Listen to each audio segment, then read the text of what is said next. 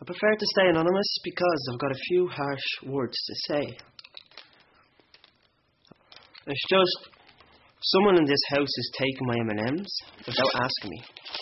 I don't yet have the proof, but I know it's Marco. I'm not just saying that because he's better with the girls, you know, like he has more success. No. Not at all. M&M's, faites les tourner.